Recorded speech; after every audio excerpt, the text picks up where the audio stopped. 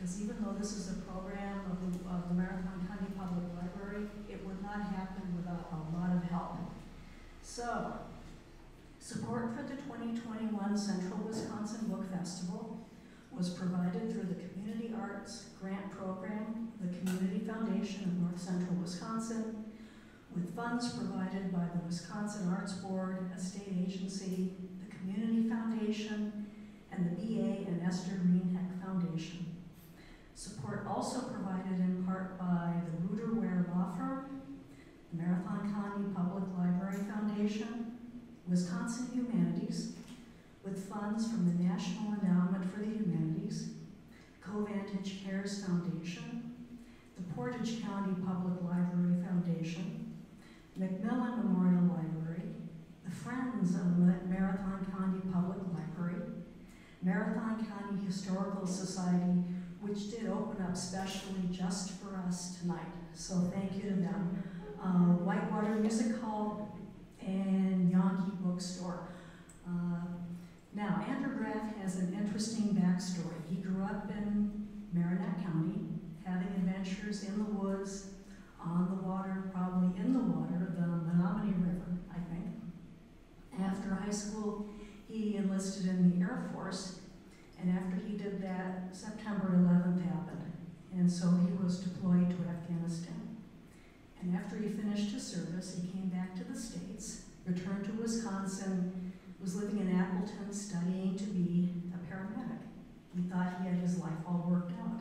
And then he just had a feeling that he needed to take his life in a different way. So here to tell us all about it, about his journey, and about his really stunning debut novel, Raft of Stars, please welcome Andrew Graff.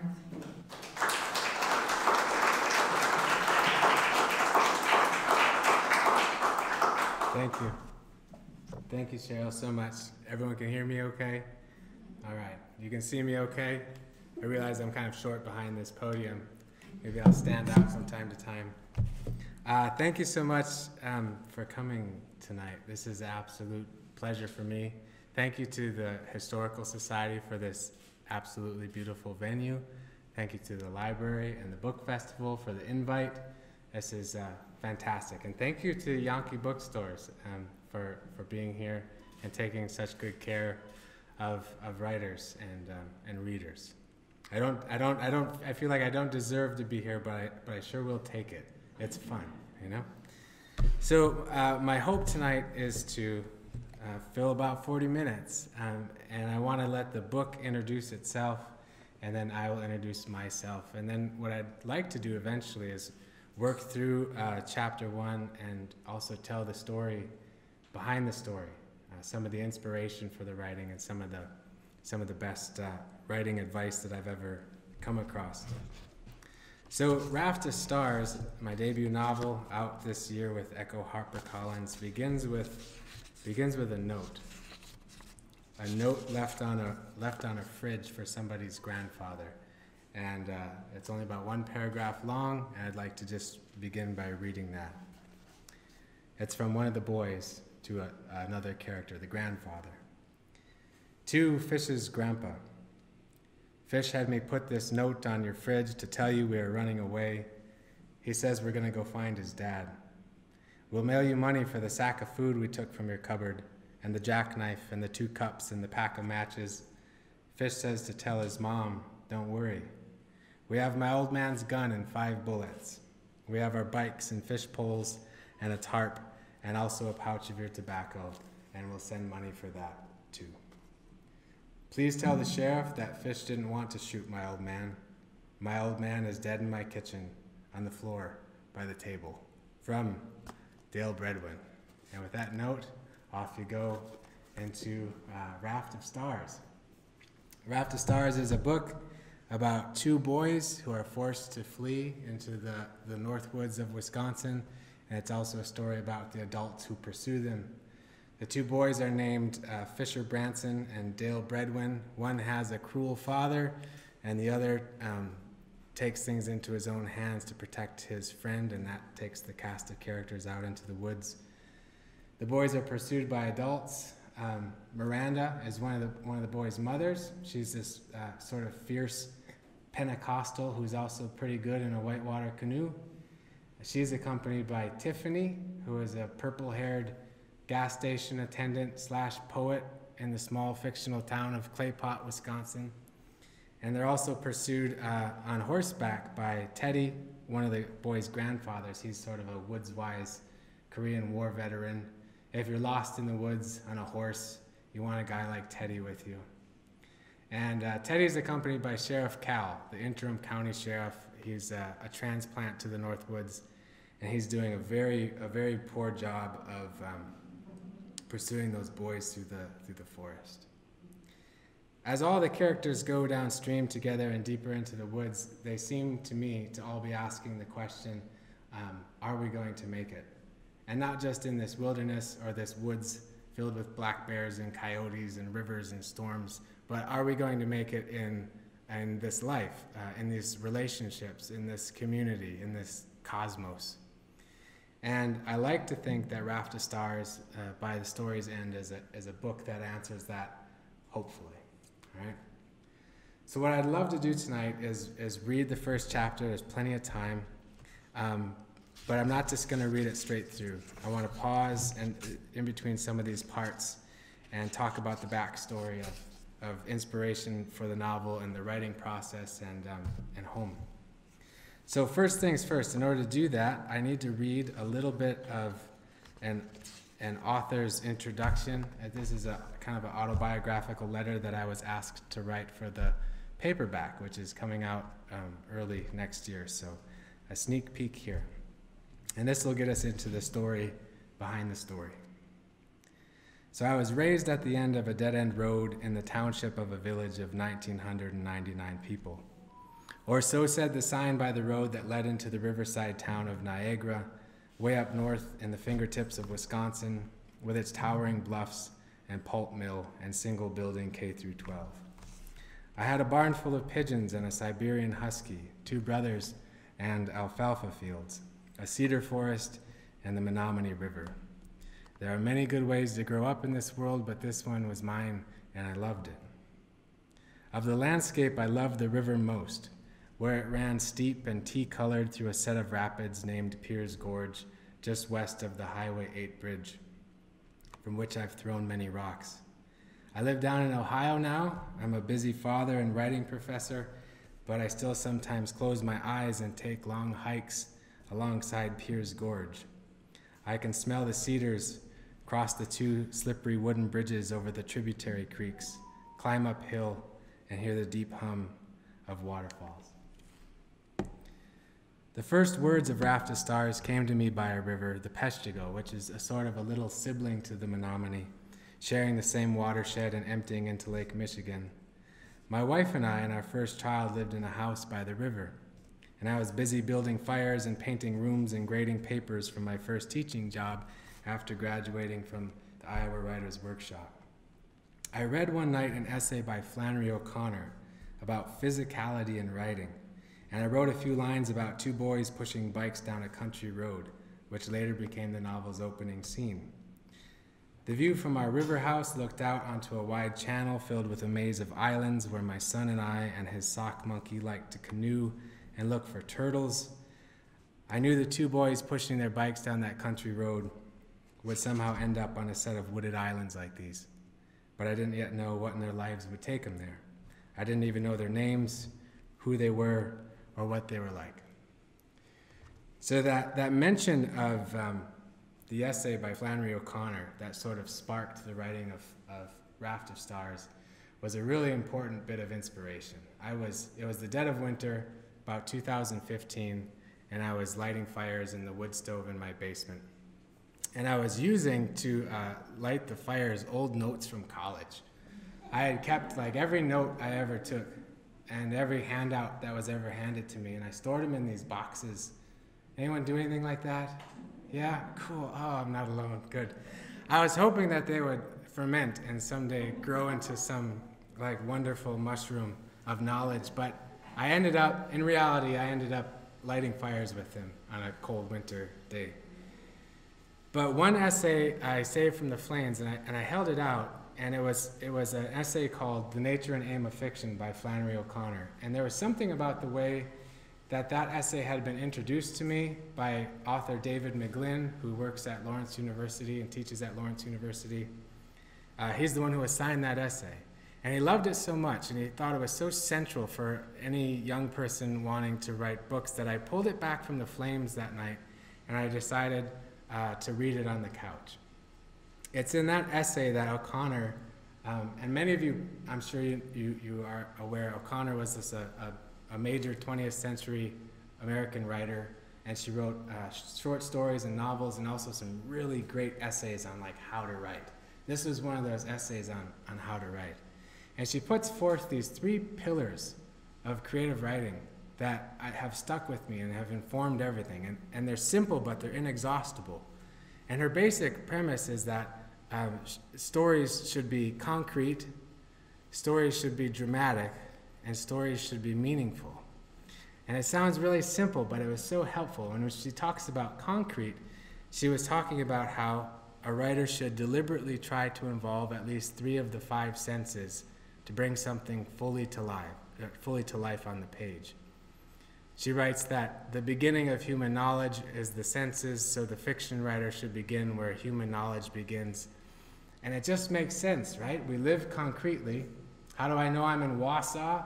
I smell, see, taste, and touch Wausau, right? Um, so if I want to give an experiential story to a, to a, a reader, what I need to do is offer the raw materials of existence. So I sat down that night for the first time in a long time, um, for reasons that I'll, I'll share in a, in a little while. And I wrote, and I wrote about a half a page. And I wrote about two boys pushing their bikes down a road. I could hear those tires on the, gra- on the gravel and the asphalt. And I wrote about the smell of ditch clover. There's that sense of smell. And I, and I also wrote about uh, a blackbird clinging to a blackbird, or, or, or one of last year's cattail stalks. And that later became um, the first scene, the opening scene of, of Raft of Stars. So as I read this opening scene in chapter one, and you hear things like clover, blackbirds, you see bikes being pushed down roads, just know like that spark came, you know, sitting on a couch in a cold winter night after feeding half of my education to the flames, you know? Inspiration can come from just beautiful chance encounters. So here's, here's uh, part one of chapter one. The baby turtles the boys carried in the front of their shirts were the size of half dollars. Fish stopped on the asphalt and looked down into his shirt as he crossed the road from the field to the marsh for the fifth time. It was early June, and the sun was hot, and the turtles looked bothered and parched as they clawed in a pile. The turtles were tenacious which meant persisting in existence. That was a word Fish knew from fifth grade. Fish's friend Bread clawed up from the ditch clover, its lazy bees, and caught up with Fish on the road. A red winged blackbird clung to one of last year's dried cattail stalks. You know these are snappers we're saving, said Bread. See them bony shells? We're saving snappers.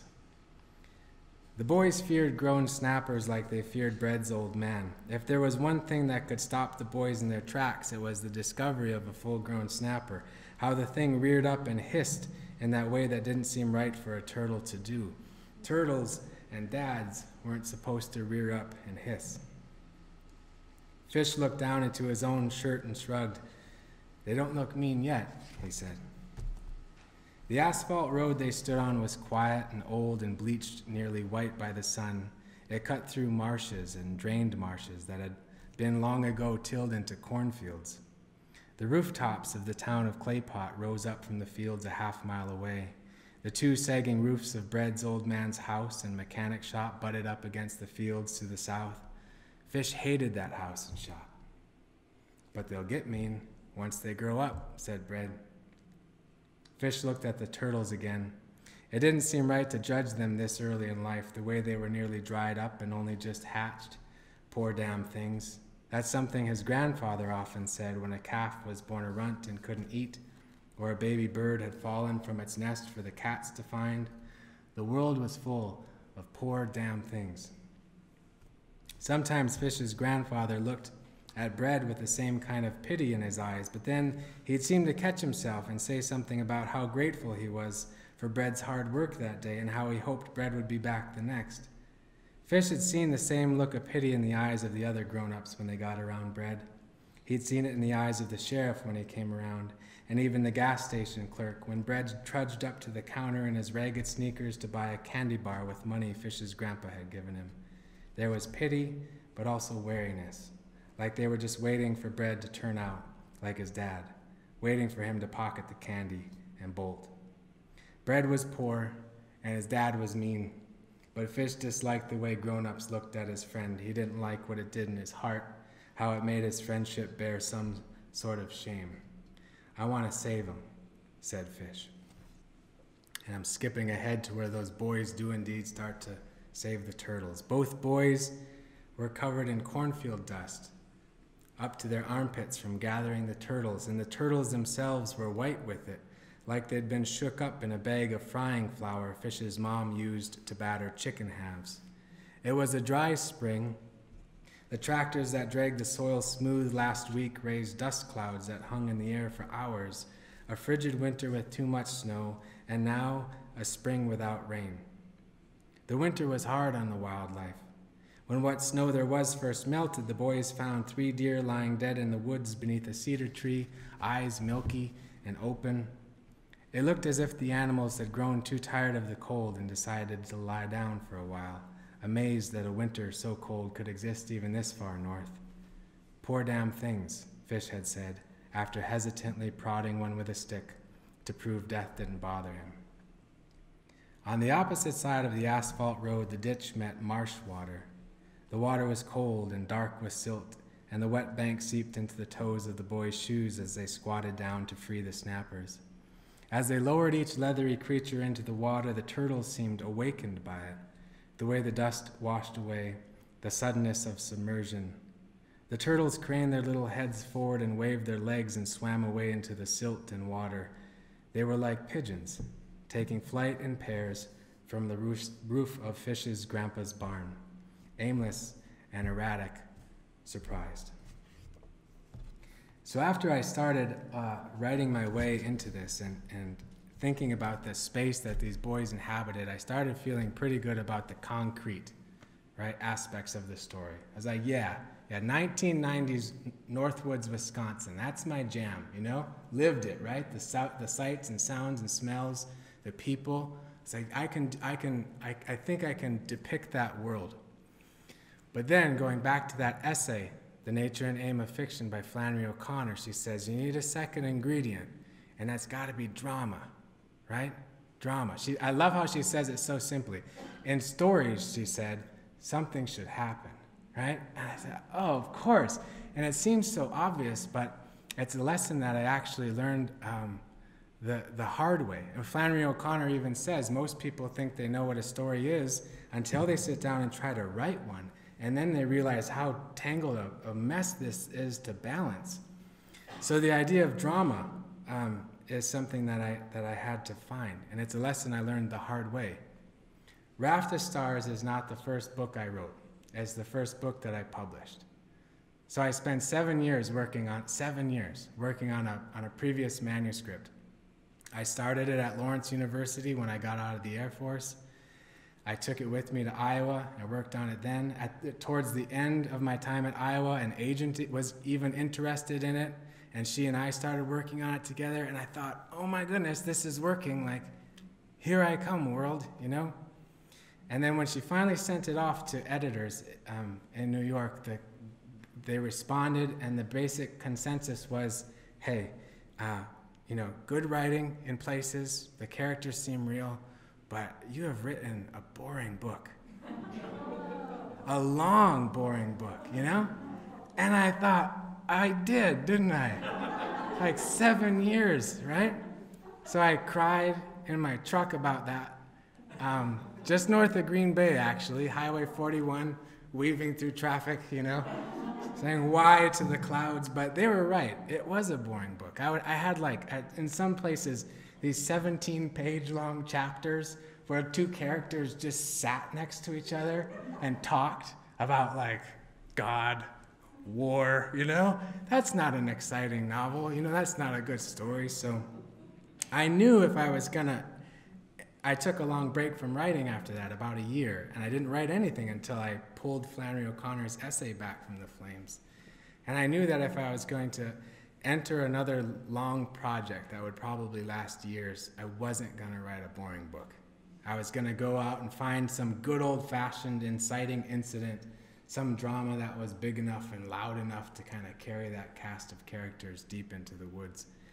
And um, for me, I don't know why. Maybe it was because I was a new dad and I was asking a lot of questions to myself about what does it mean to be a father, a good father? What's it mean to be a bad father? What does, what does it mean to be fathered or parented in general?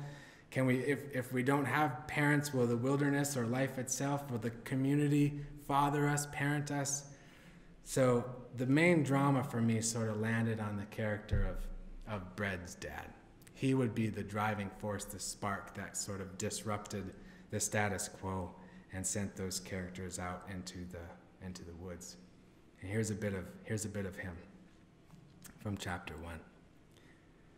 Some days, the boys made a game of dreaming up ways to rid Bread of his old man. They sunk the man in the marsh once Another time they tied him up in raspberry bushes and let black bears get him. They ran him down with countless trucks and tractors, and they once buried him up to his neck in an ant hill they found behind the barn. The game was a way of deadening the blows of Bread's real life. Bread would come out to fish his grandpa's for a few days at a time. He'd arrive with stories of falling down or crashing his bike, and his face and neck would get so red with shame that the bruises seemed to fade. Always, though, by the time he left the farm, the bruises had more or less yellowed. It wasn't every time, but it happened. One evening, when Bread spent the night, Fish overheard his grandpa talking with Bread on the porch, asking him how bad it was at home. Bread hardly answered him until Grandpa offered to go and talk to his old man, which Bread quickly refused.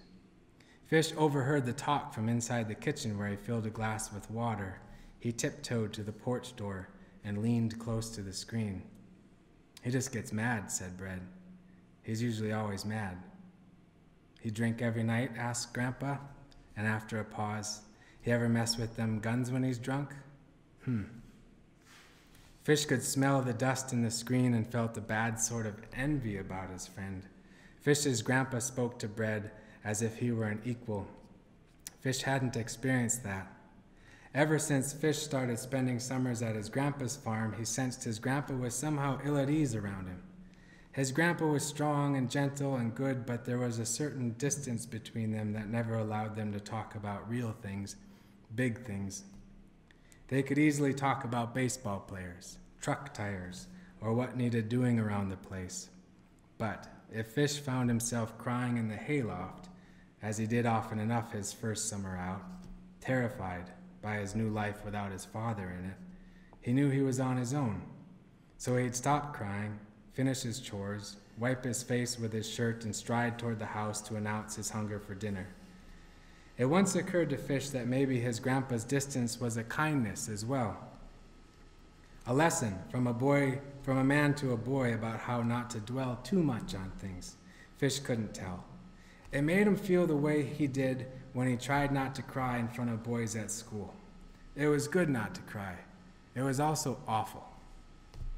Look here, said Grandpa. I don't, I don't mean to get in your business, but just so you know how I know, my old man used to push me and my sisters around too.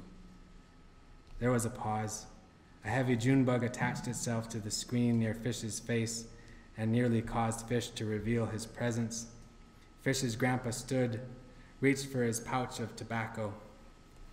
And I know how it goes if other people poke around in it, how it can make it all so much worse. So, but if you ever need a place to go, ever, you come right straight here.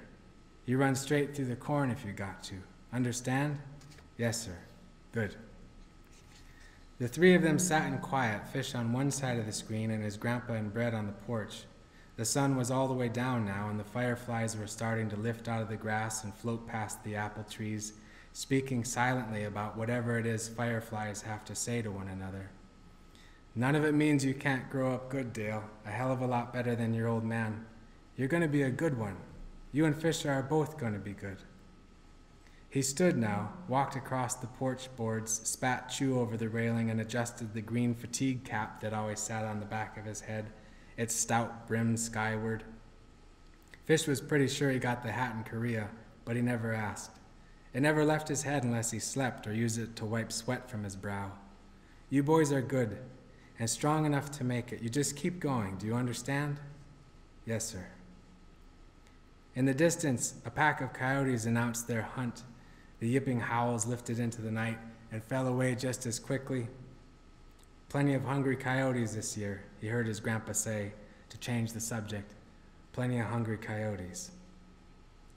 Fish joined his grandpa and friend on the porch where he drank his water and watched the stars emerge in a new sort of silence. The stars hummed. Fish's blood hummed. The, bad, the bad envy was gone and a new light emerged. At Fisher's mom's church, congregants often spoke over one another.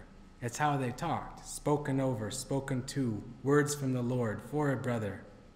Fish never minded it, but now he seemed to understand it. Bread and fish had just been spoken over. His grandfather knew that all was not well in the world, that it was a choice to bear it quietly, and something grave and peaceful rose like a moon in Fish's heart. So at this point in the story, I was feeling pretty good about the drama, and I was feeling pretty good about the concrete. I knew I had 1990s Northern Wisco in my pocket, and I could write about that. And I also uh, now had a, a, a, primary drama, a cruel father that needed to be taken care of, and it could cast those characters out into the woods. But the third and final pillar, this is the last sort of universal of storytelling that Flannery O'Connor, O'Connor talks about in her essay, The Nature and Aim of Fiction, is meaning. Stories should be meaningful. She says she'll, she'll call anything a story in which specific characters, concrete, and events, drama, influence each other to form a meaningful narrative. So I started thinking about, well, um, what are these characters going to care about? What's going to happen to the human mind and heart of these characters and readers as they, as they go through this drama in this concrete space? And for me, again, that central question that these characters started asking was Am I going to make it in this relationship, in this community, and in this forest? And that question of Am I going to make it um, is one that I was asking too as a human being as a new dad, as a new teacher, right? Am I going to make it? And it landed for me in this in this space. What became interesting to me, what became meaningful to me, was this balance between personal agency and acquiescence. When do I need to paddle really, really hard? And when do I need to have the wisdom to not try to change what I cannot change? that's something that that's a really interesting question to me. It's still an interesting question to me. And if any of you haven't figured out, some of you do, far more than me, let's talk, right? Um, this is a, a, a, photo of me guiding a raft on the uh, Peshtigo River up in northern Wisconsin. This is another photo of me guiding a raft on the Peshtigo River in northern Wisconsin. I guided boats for like 12 years now. I absolutely love it. I started the year, I got out of the Air Force, I just stuck with it. I haven't guided in the past two seasons because of kids and COVID, but I plan to get back in a boat um, when, I, when I can. And one of the things I love about whitewater is not just the, just the thrill, and it is exciting, but I really love the art of, of when do you have to paddle very hard and when do you have to yield, right? Because ultimately you can't fight a whitewater river, but it's you can learn to, to, to co-labor with it, co-labor with those forces. I love to watch the difference between real rookie river guides and really experienced river guides. and I'm, I'm neither anymore. I'm somewhere in the middle. But the, but the, the rookies, the first season river guides, are all muscle and panic and overcorrection, and they'll take 15 strokes this way, say, oh no, and then take eight strokes the other direction, right? And it doesn't usually go well, or they can hurt their shoulders, versus um, really experienced river guides who have just learned flow. Like I'm talking the ones with like big gray beards or beautiful gray braids coming out of their helmets. There's a, there is a guide down in West Virginia. She guides on the Gauley River, which is one of the hardest rivers to guide in the United States. We're talking 14 foot waterfalls. I can't guide the Gauley. Um, they call her the Gauley goddess because she's one of the best river guides on that stretch of river. And I've, I've watched her in video coming down class five sections of water. I'm talking like house sized explosions of whitewater happening around her. And she looks like she's sitting on a park bench, eating a muffin, just cool as a cucumber, you know? She's learned flow, right? So that is something that I think all of these characters start to wrestle with. As they wrestle with the question of, am I going to make it in my own way? All of them at some point are paddling as hard as they can. And all of the characters throughout the course of the book at some point come up against the end of themselves and have to rely on something else or community in order to, to, to make it. So the question ultimately became, or the book became meaningful for me in this question Are we just poor damn things, as Fish's grandpa Teddy likes to say, right? Or are we more than that? Are we actually pretty strong? Are we actually good? And are we actually not, not alone? That's how, the, that's how this story came, became meaningful for me, and I like to think that Raft of Stars answers that uh, in a hopeful way, in a positive way. So, I would like to read, if I can beg your patience once more, just two more pages of Raft of Stars. And it's the closing of, of um, chapter one. And I think these ideas of, of agency versus acquiescence start to come through here for me. The side street leading to Bread's house was gravel the town tore it up the previous summer to fix some pipes and never got around to repaving it. Bread said his math teacher said the roads and lots of other things would change for the better now that President Clinton was in office. All Fish knew about President Clinton was that he seemed to smile a lot and played a saxophone on the TV. Fish didn't know how much help a, a smiling man with a saxophone would be about a gravel road and clay pot. Fish's grandpa didn't know either. Bread's house was the last on the left. And while none of them were nice, Bread's house was the worst. It had peeling paint like the rest, but it seemed to peel back in a meaner sort of way.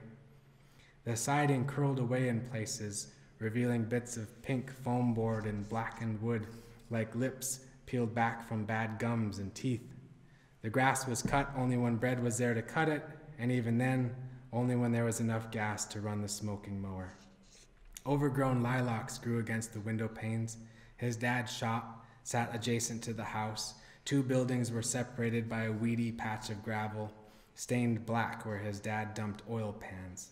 Halves of car transmissions and rusted motor blocks leaned against the cinder block shop. A flat bottomed duck boat lay hull up across bald tires. And then bread has to go home, and fish has to leave him there and pedal home to his grandfather's house.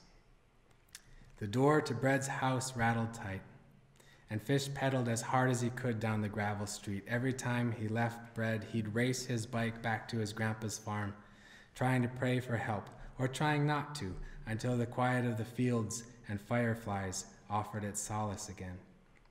This time, though, something different happened inside him.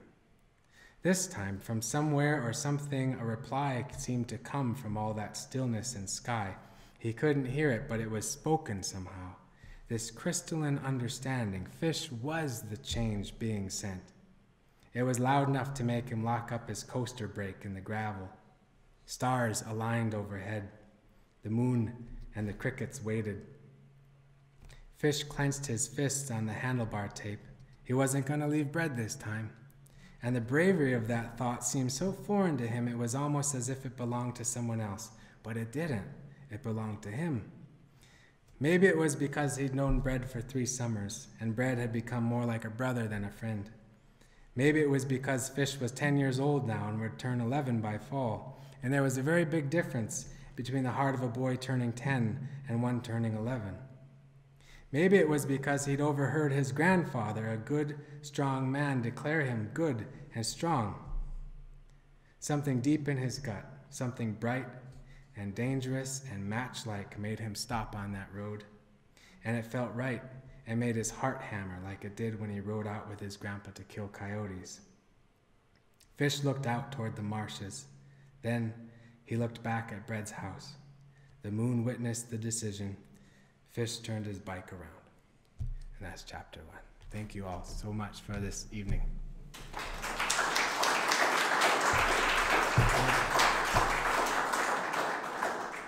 Thank you so much. So, I believe We have plenty of time for questions. yeah, I'm happy to. I'd, be, I'd love to answer uh, any questions that you may have, and then um, sign any books that you may have brought. And if you need one, uh, we have some for, for sale as well. So, I'd love to. I love love to hear your thoughts. Yes, please. I, I love this book, and I, I, I, I'm a kayaker in easy water, but I really felt the, I love vicarious adventure from the safety of my house. Thank Um, you. I did, as someone who grew up in Wyoming, and uh, there were two instances in my life where little boys did go missing. One of them was my little brother, uh, when he was five years old, in the woods in my Wyoming, and one of them was a friend of mine brother when he was maybe in seventh or eighth grade. And to me, it was so hard to imagine that people could just say, we're not gonna do everything in our power, we're not gonna bring in helicopters and drones, which they wouldn't have then, and Yeah. you know, the FBI and the CIA. Yeah. And I was really, I found it really remarkable the way that you were able to make sense of that. The determination of, say, the father, of, I mean, excuse me, of the grandfather, of Freddie, to, no, we're going to take care of it. They're our own, we know where they are, we know these woods, so. Ah, I thank thought you. that was really, kudos to you, because at first I thought, you know, there's also a mother and a grandmother, that, oh my God, just kids, you Yeah. know, Get everybody and their dogs out. Yeah, yeah, I get it. And thank you so much for saying that. And that was a real problem that was on my mind. Like, what? Call in the helicopters, right? Um, in some ways, you know, 1994 in this fictional Northwoods County helped me. Um, I mean, one thing that 1990s helped me with that no one was carrying cell phones yet, at least where I grew up, you know?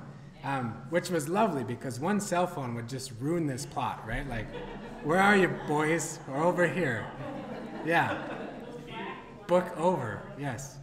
So but i, I definitely wanted to just um, yeah uh, let the guard let, let the guard come in at the end but i wanted to see cal and and, and teddy and especially miranda uh, go after those boys. You know once there was a, a boy lost in the forest i knew somewhere there was going to be a mom and like no no river no black bear no storm was going to stop her. So she was one of the funnest characters to sort of let loose in that woods and just let her rip, you know? Yeah, thank you so much for reading it. Yes. I also really love the book, and if we can kind of imagine like a, a fictional future for a fictional character, Teddy specifically, like, what do you think, uh, what was his meaning that he took away from all of this? Maybe like, softening up a bit? I mean, at one point he mentions he wished he would have done more to help Gail. Like, what do you think someone like, a character like that would, would have, what kind of meaning would he find Yeah. out of this experience? No, a wonderful question. And I, I actually wrote um, a 19th chapter um, that took all of the characters uh, a half, six months into the future and just sort of see where they all landed, you know? And I think that was an important thing to write for me to figure out like how to aim them earlier on. But I think also the editors wisely said like, no, just end this on the river, you know? So I'm thankful for that. But I, I think Teddy was wrestling through questions of, of uh, you know, there's that scene where he and Cal are hanging out having coffee, and he's like, No, I didn't like farming. I never did. I just went along with it. So he, I think Teddy was pushing back Sparks, you know, and I think his reluctance to help Dale sooner was one of those things. I think, I think, I think the new Teddy, like Teddy in six months, would have would have helped Bread sooner. Yes, please. Thank you, Andy. I wrote your book too. Thank you. And one of the things I was thinking about, you know, after the short and alarming introductory note on the fridge, is that, you know, very deliberately, you start the book with two little boys performing an act of great kindness with lots of little meanings that they think might bite them, and they shove them down into their shirts. And, you know, I don't have kids, but I think a lot of us, you know, some of us might think that little boys are one way, and little girls might be another way, but something just so tender-hearted. You know, little boys stuffing tiny turtles in their shirts so they don't die. Can you tell me how you decided to start right there? Yeah, I think well, the, when the turtles came in, they sort of made sense. Those turtles are released, and they are they are they are all alone out there, and fish doesn't know whether to pity them or or, or celebrate them.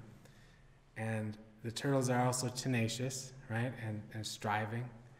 And they're also surprised and flying away in this erratic manner. So the turtles became sort of a microcosm of this, what would become the boys' uh, own story. But when I thought about those boys, I mean, I, I honestly just thought a lot about my own childhood growing up in, in northern Wisconsin and what kind of thoughts did I think and what kind of trouble did I get into with my friends, you know? Um, I grew up jumping my bikes and, and catching every turtle I could lay my hands on and lighting off firecrackers in silos, you know? So it was fun to, it was fun to think back to what those relationships were like. And, um, and there was a, plenty of tenderness in, in that too, you know? I remember playing with friends and we would all, everyone would play until someone cried, right? And then we would make up five minutes later and we would play again. So I think those 10 year olds were fun characters because they, they, they fought, they rallied easily, you know, and they felt really well. They felt loudly. I think kids are better at emoting than adults are, you know, so the adult characters just had to stuff it all in and be miserable in canoes for a couple chapters, but the boys could let it rip a little more, you know? Yeah. Yes. This is maybe like a weird question, but like, so you, um, you grew up in, uh, um, terrain, sort of like what is in your book. Uh, I, I wonder, did you, when you were working on it, was it like, um, did you get it out of your head? Or did you like ever find that you wanted to like go and go into the woods area and think about like, all right, if they need to traverse this amount of space, what would they do or whatever? Do you know what I mean? Like, did you? Yeah, I do. go to places. Um, I, I was closing my eyes and walking along trails and, and going down rivers a lot as I was trying to write scenes. Um, the actual landscapes are sort of an amalgam of, of real landscapes from, from Brillion, Wisconsin, which is my wife's hometown, a lot of marshes. The, the actual road from the opening scene is based on a road near, that, that's the visual I had in mind, you know? And then I moved further north and I started um, plucking bits and pieces from the Piers Gorge territory um, near Niagara, Wisconsin, and Norway, Michigan. And then I moved further north when I wanted bigger hills and bigger waterfalls, all the way up to like the Porcupine Mountains area um, in, in the UP. So I, I enjoyed walking down real rivers again, you know, alongside real rivers while I was thinking and while I was writing. That was an enjoyable place to spend time for me. But I also wanted to um, make a fictional county, Marigami, so that I could let it rip and let the let the uh, waterfalls be a bit bigger if I needed them to be, which I did, you know. So, yeah. Does that answer your question about? Okay, thanks.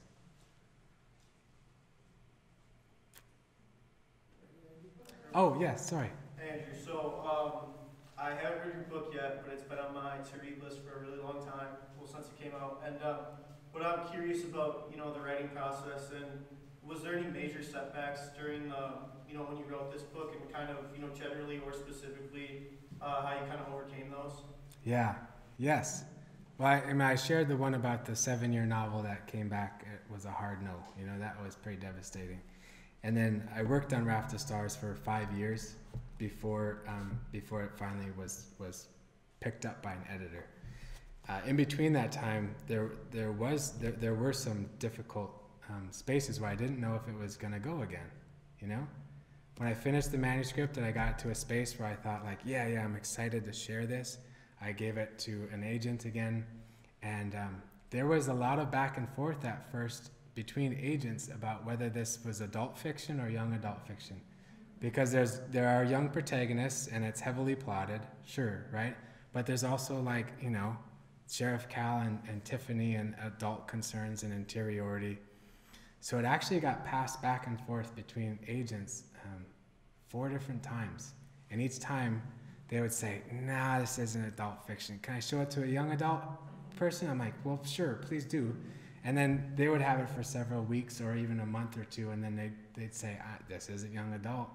Let's give it back. So we'd try to shape it again, you know? Eventually I tried to push it more thoroughly into adult fiction by adding more, uh, you know, interiority, like letting the concerns of the adults take up more time on the page. But to, to answer your question succinctly, there was a point when ah, one, two, three, four different agents said, I don't think so. And we just shelved it. And I thought to myself for about five months, like, oh my goodness, I did it again. I wrote another uh, sock drawer novel, you know? I'll try this a third time, but it is getting harder. You know what I mean? Um, and then out of the blue, uh, one of the, the agents said, There's a brand new agent here. Uh, she really loves it. Would you like to talk to her? I was like, yeah, absolutely. I would love to. And she and I worked on it for a month, and she and she sold it in, in two weeks.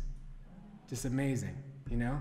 Um, once again, acquiescence versus agency, right? Like how I worked, you work so hard towards something, but ultimately, it, was, it, it baffles me how much it was out of my hands. You know, how much control I couldn't possibly weave into it. So keeping the faith. That's what David McGlynn, my old professor at Lawrence, always said. He's like, you keep the faith. You like you push through those dark nights of the soul. You know what I mean? And I did. He actually said to he always said tells it he told our, our graduating class of, of writers uh, at Lawrence, he's like, you guys, it's probably gonna take about ten years to do this. To, you know, to maybe go to a grad program or at least to write a bunch of novels and, and, and fail to sell them. It's probably gonna take ten years. And part of me in my mid 20s was like, maybe it took you 10 years. You know what I mean? I did think that. I was, you know, I was like, I'm going to do it in not 10 years. It, I graduated Lawrence in 2009. I, I, I sold this in 2019. I took every one of those 10 years, you know?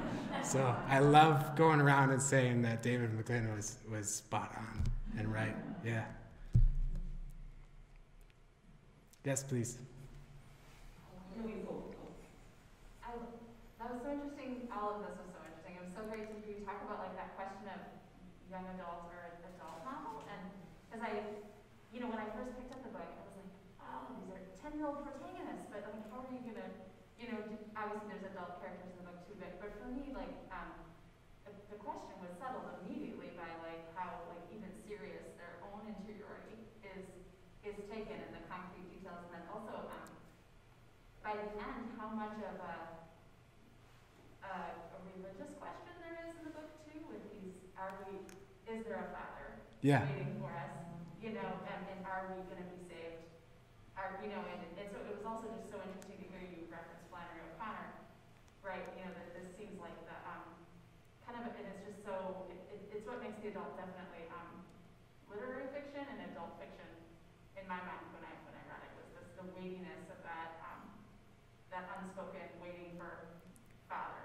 Yeah. Well, thank you so much for, for saying that. Flannery O'Connor is definitely a big influence on me. I love her work. She was a, a very devout Catholic, right? And wrote some of the best short stories. But she also wrote about hard things, you know? She wrote about very hard things. She wrote about real life in real ways. Uh, she didn't pull punches. Um, but there was always a there was always an, an uptick of, of hope in her stories. And I, I knew fairly early on that I wanted to push toward that sort of storytelling myself, you know? Marilynne Robinson said at the 75th anniversary of the Iowa Writers Workshop, gloom is all the rage today, you know? And, and I think in some ways, yeah, she's right. And, and what was sort of in vogue for a long, long time in storytelling or short stories was just if you can damage your characters and push them off into an abyss at the end, you've made art, you know? And Marilynne Robinson always kind of wagged her finger at that, and, and I was thankful for it. She said, no, it's actually pretty complex to, to go up to the edge and then try to be good, you know, to try to, try to turn things. So I knew I wanted to write a story um, that had that, that hopeful core to it, you know? Life's hard enough. And if I'm making stuff up, I might as well make stuff up that provides possibilities, you know? But uh, yeah, thank you for thank you for saying that. And I think those concerns did help. Pursuing those aspects of the story helped kind of push it toward a more adult uh, novel. There were times I had to pull things back too, like writing through the eyes of ten-year-olds. You know, there was one scene in particular where I had I had fish at one point on the riverbank, like giving some grand paean to the meaning of life and everything like that. And the editor very wisely said, like, why don't you just have them think about the black bears again, you know? I'm like, yes, yes, because 10 year olds don't write essays in their heads, you know? So, yeah. Thank you. Did you have a question? Yeah, I just had a question. I was, I liked how, how the animals interplayed and you kept bringing them back and the bear kept making appearances. But then at the very end, I, I liked all that, but then I'm thinking, you know, the horses just disappeared. Yes. And I suppose that was resolved in the last chapter. You know, that is a question that I have been asked um, three times. Three different readers have, have said, they're so, they're so there. they said, what about the horses, you know? And honestly, I just like, I'll just admit, I dropped that ball. I'm like, the horses probably got walked, you know, back to town somehow. But yeah, I don't know. I was, I was so concerned with the boys and how they ended up that the horses just kind of fell away. But you are not alone in asking that. Multiple people have said like, what about the horses? Yeah. I like the bear, the bear showed up at just the right Mm. time. and I really like that. Thanks so much. If I ever do a sequel, I'm gonna take care of those horses. Yeah. Yes, please. Were any of the characters from Monday that I read about? or- Yeah, I would, I would say so. And again, sort of like how the landscapes were an amalgam of real places, but also very fictional. Uh, I think a lot of the characters were, you know, amalgams of real people, but also very fictional. So there's no one character I can point to and say this is based on this person. But I do think the, um, you know, uh, the, the mothers, the, the gas station attendants, the, the grandfathers in particular, were the types of grandfathers and gas station attendants that were part of my life back in the 90s in the Northwoods, you know? Uh, Tiffany in particular, and they all came from, from me as well, you know? A, a part of me was in every single character, like the small town gas station attendant with purple hair who wants to be a poet. There was part of myself in that. Um, the 30, the, the mid 30s sheriff who's questioning his identity and his his, his job and saying, do I really want this, you know, or did I just inherit this idea from my, my family? I, I've gone through some of that myself, you know. But I met a real life Tiffany um, not too long ago. I was driving through rural Ohio and I stopped at this, it was this tiny town, just a couple of houses and a gas station. I stopped in at the gas station and I got my drink and I came around to the corner and there was a was a woman in her early 20s with bright purple hair behind the counter. I nearly said like Tiffany, you know, yeah. I want. I thought for maybe two seconds about asking if I could take a picture, but then I thought, how weird would that be for her? You know, like I wrote this book and you're in it, and can we do a selfie? And then I thought, no, no, no, just buy your buy your water and get out of here. But, but Tiffany's are real, and Teddy's are real, and, and Miranda's are too. You know, so I was yeah pulling from a lot of experience. So speaking of real characters, so Fish and Bread, Yeah. I imagine it's hard to write ten-year-old boys, and I thought that they were so authentic and like I could like see them. Thanks.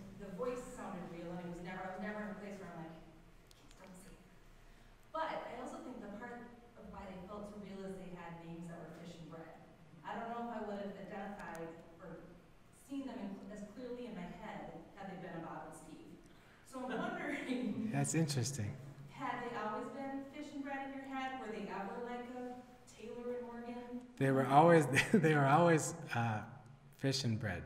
Yeah, yeah, throughout. In fact, the, when when the book was in manuscript stage for years, it was just called Bread and Fish. That was the title, you know. And then, um, fortunately, like editors and agents were like, "Let's come up with something better," you know. Um, so it was it was it was a fun process. Those two names stuck with me or, or resonated or worked for me. Um, for two reasons. One is they have they, they do remind me of of the scriptural story of Christ feeding the thousands bread and fish. So this idea of miraculous provision, um, there is miraculous provision in this story. Like the characters come up against the end of themselves. Will someone or something be there? You know. So I was I was I was exploring that idea in the book, and I also liked their names because of how simple they were. It's like the most simple sort of meal, bread and fish. And I wanted to write a, a, a very simple sort of elemental novel, with by which I mean just like rivers and pine trees and wood smoke and stars, you know. So their names sort of fit there and they stuck. But I'm glad they felt real. I'm glad what they said felt real. Again, um, some some of that, much of that, perhaps was having good readers and good editors saying, I don't think a ten year old would know that word or say that thing, you know. So, yeah, yeah, your your ten year old is suddenly like a, a thirty nine year old. Yeah. But they were fun to write. That's for sure. Yes. No. It, yeah. It can't take ten years. So I, I will I will share the happy news. So I have a second book um, in the works that's under contract with Ecco HarperCollins again. And I got a, yeah, thanks. It's very fun. So I'm working hard on that, and um, I think I owe them a first draft by the end of next summer. So I've got time, but I don't have 10 years. Thank goodness.